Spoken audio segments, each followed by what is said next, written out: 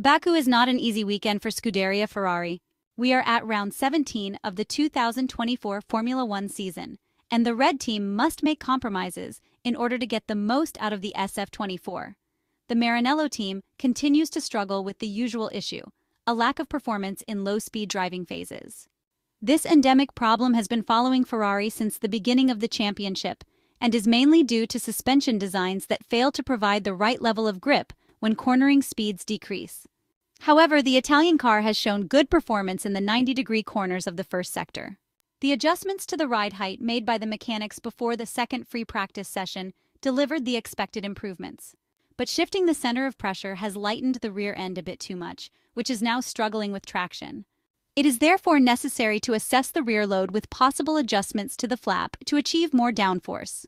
The flow viz observed on Ferrari's rear wing shows that the team wanted to collect important data to optimize the car's setup and, consequently, study the airflow structure as it moves through the car and reaches the rear. In terms of feeling, we can say that Charles Leclerc and Carlos Sainz had good sensations after the setup tweaks.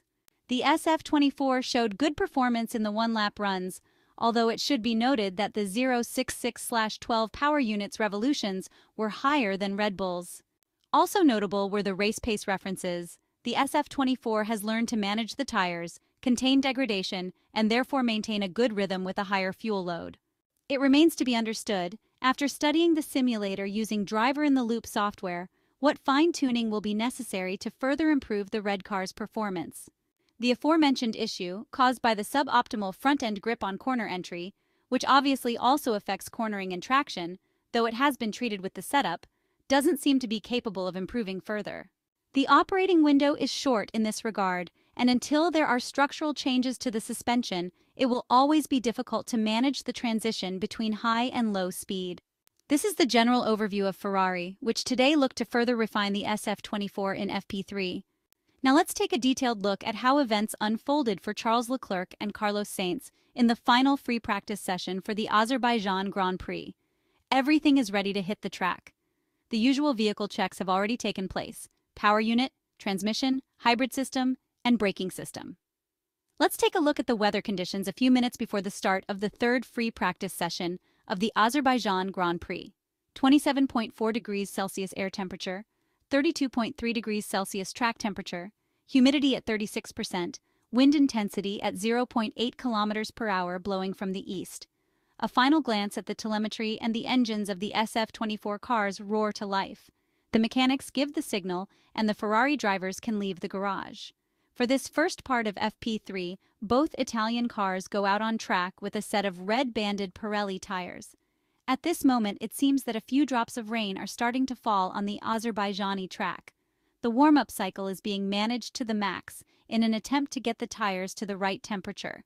However, they barely finish the outlap before Esteban Ocon's Alpine stops on the main straight due to a power issue with the Renault engine derived from the transmission.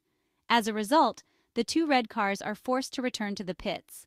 The Ferrari drivers remain in their cars, waiting for the A524 of the French driver to be removed so they can leave the pit lane again.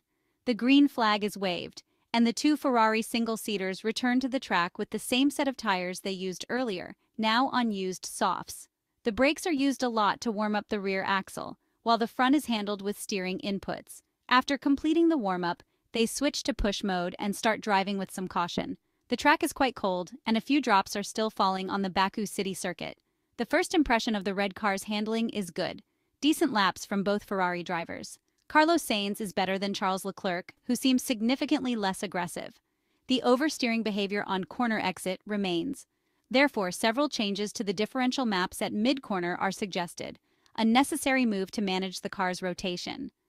After a cool-down lap to cool the tires, they switch to Engine 1 mode, maximum power from the internal combustion engine, and then they are ready to give it their all again. Carlos Sainz lifts off in turn 2 due to Max Verstappen's traffic. The Spaniard doesn't make an issue out of it and stays focused, although the Dutchman effectively ruined his second attempt. Up until the final sector, Charles Leclerc's lap was very good. Unfortunately, the red team's junior driver, Oliver Bearman, comes to a stop in turn 1 with his Haas.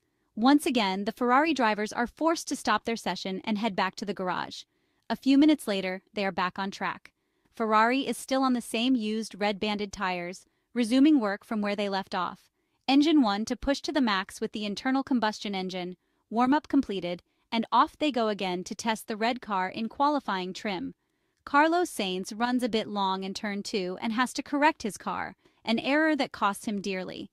Charles Leclerc also isn't perfect and, like his teammate, has to make some steering adjustments in the second sector. However, the Monegasque driver manages to keep good lines, and at the end of the lap, his time is excellent, first position. Thus, they move on to the next part of the work program. The Reds return to the garage. Inside, you can hear the voices of the Ferrari engineers, Bryan Bozzi and Riccardo Adami, giving further suggestions on how to manage the SF24's drivability.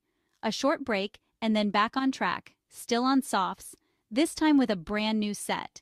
A slight tweak to the front wing to balance the load further, and then off they go to fine-tune tire deformation in the warm-up cycle.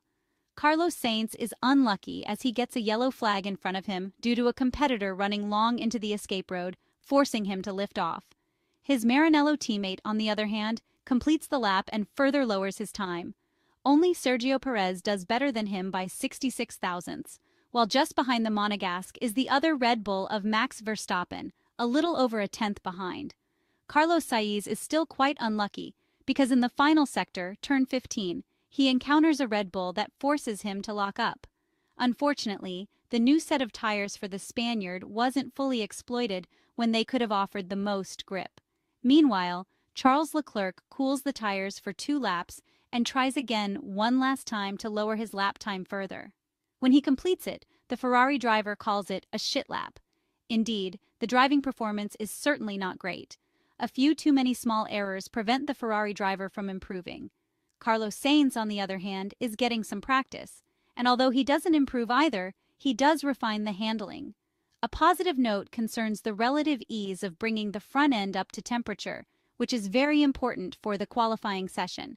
The session will start in a few hours, and it seems Ferrari can have its say, trying to fight for pole position, especially with Charles Leclerc.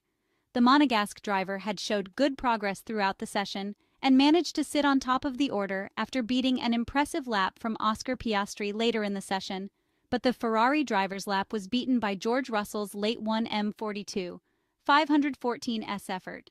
Russell, whose running on Friday had been interrupted by a series of power unit grumbles, reported that his Mercedes powertrain sounded strange through the corners and also struggled with the handling balance throughout much of the Saturday practice session. McLaren with Lando Norris managed to get closer but still remains about 0.2 seconds off George Russell's reference time. In the fast lap, there aren't many areas where the MCL 38 stands out, except in the downhill section between turns 15 and 16, where Norris is able to be more effective.